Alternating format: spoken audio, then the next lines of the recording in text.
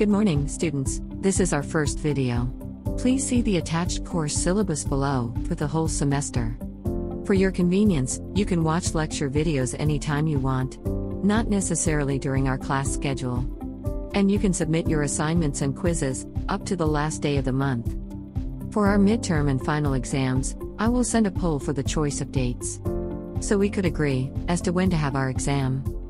With regards to our online lectures, please bear with me as I am just starting to learn in creating videos. If you have further questions, please send your queries to this email address. And remember to stay safe, wear your face mask when going out, and sanitize your hands after touching anything. Thank you.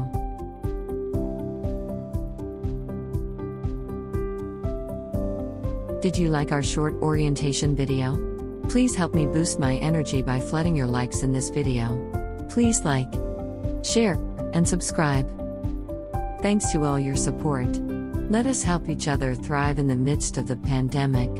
We heal as one.